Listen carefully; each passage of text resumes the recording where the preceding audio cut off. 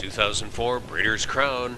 And the three year old trotting fillies are off. And it's House that Ruth built trying to set sail for the lead. Bramasole has come out fast. Silver Springs from out in the 10 post is springing out of there and going to look for the lead. Olympics drives up into the top four. On the inside, McCall Magic is fifth. Invincible Dream is sixth, but then went off stride. Peaceful Way once in line. Moving third from last, Mystical Sunshine over to the quarter ahead of In the Shell. And Blossom Sealster was held on the outside. The opening quarter sprinted in another Breeders' Crown first quarter record of 26 seconds. Silver Springs from the 10 post over Bramasole into the backstretch. House that Ruth built landed well away in third. McCall Magic is fourth. Olympics is fifth. On the inside in sixth position down the backstretch was in the shell. Blossom Sealster came through in seventh. Peaceful Way on a break. Disappointing for her. Takes her out of it. Mystical Sunshine was off stride. Off stride in the early going. Invincible Dream. Half a mile was posted in 56 seconds. Driving past Brahmasol to a short lead.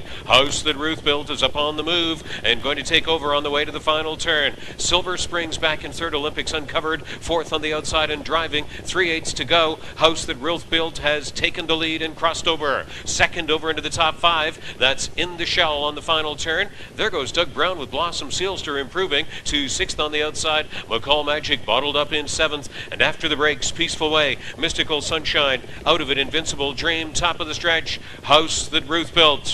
Three quarter time of 125 and 1. That's a Breeders' Crown record, too, for a three quarter time. House, that Ruth built by three. Olympics is off stride. Bramasole comes on through, then in the shell, and Blossom Sealster and McCall Magic on the outside. House that Ruth built trying to reach. Bramasole, one last lunge, a little too late. Brian Sears, House that Ruth built. A better fate than the New York Yankees to win the Breeders' Crown. House that Ruth built over Brahmasol and in the shell. 153 and 3 stakes and track record. What a performance by House that Ruth built.